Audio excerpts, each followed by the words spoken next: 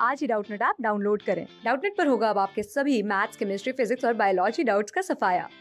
बस अपने क्वेश्चन की फ़ोटो खींचो, उसे क्रॉप करो और तुरंत वीडियो सोल्यूशन पाओ। Download now. So the question is the maximum kinetic energy of photo electrons ejected from a metal when it is irradiated with radiation of frequency 2 into ten to power fourteen per second is 6.3 point three into ten to power minus twenty joules the threshold frequency of the metal is so so, हमें पूछा गया है threshold frequency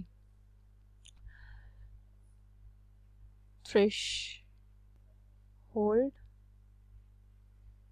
frequency find करनी है हमें and given is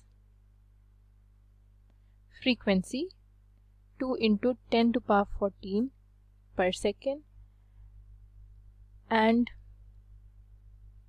maximum kinetic energy K max is given as 6.63 into 10 raised to power minus 20 joules. So ये सब information हमें given हमें पता करनी है threshold frequency.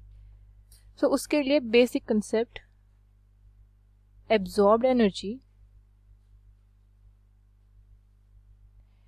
is equal to threshold energy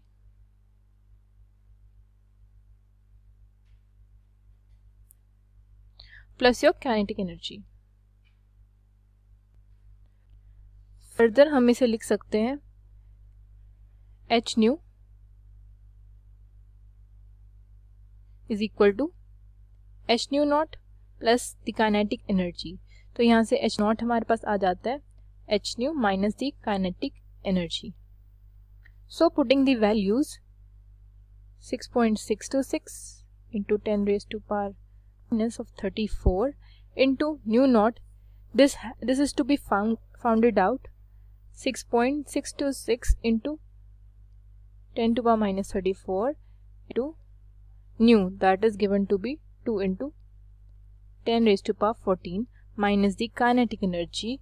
That is 6.63 into 10 raised to power minus 20 from here nu naught is 6.626 into 10 raised to power minus 34 into 2 into 10 to power 14 minus 6.63 into 10 raised to power minus 20 and upon